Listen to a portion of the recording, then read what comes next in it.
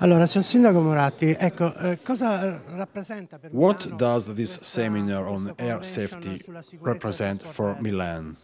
This is a very important uh, seminar bringing together here in the city of Milan more than 600 delegates uh, from more than 50 countries. Uh, we believe that uh, air security is vital in this global world.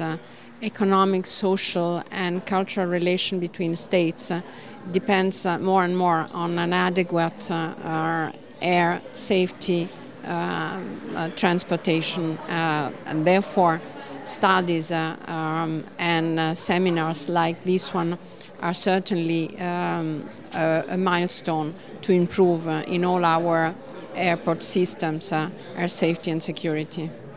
È proprio, eh, Milan will host Expo tra breve una delle più 2015. Do you think that Malpensa parla ancora di Airport will be ready to manage the Eh, pensa che increase in air traffic? And what can you tell us on the road and rail connections with collegamenti the con la città? city?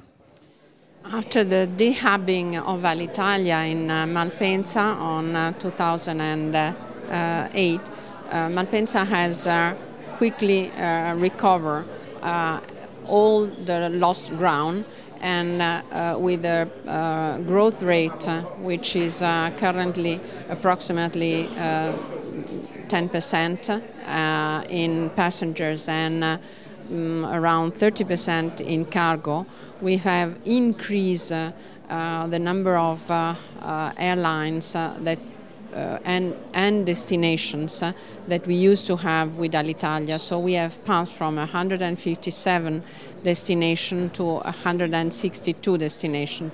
Uh, therefore, we are uh, looking at the future with uh, a lot of uh, uh, positive thinking. Ecco, che cosa lei What would you recommend uh, to increase the air safety in Milan airports?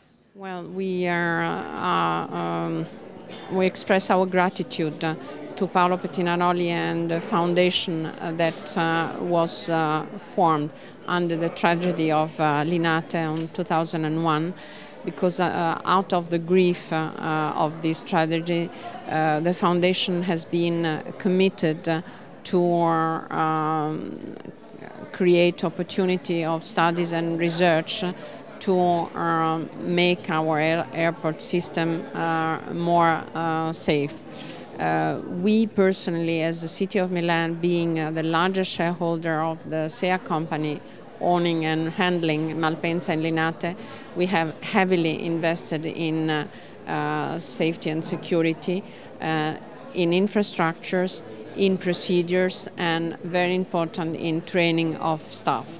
Uh, we know that uh, airport system security is not an easy um, uh, issue to tackle because mm, um, very many are the um, persons uh, uh, working on uh, the airport systems that are involved in different type of operation and to integrate and to make these persons all looking at the same uh, objective, which is safety and security, uh, needs to have a strong commitment uh, and dedicated staff, uh, which is what we have done and what we will continue to do in the future.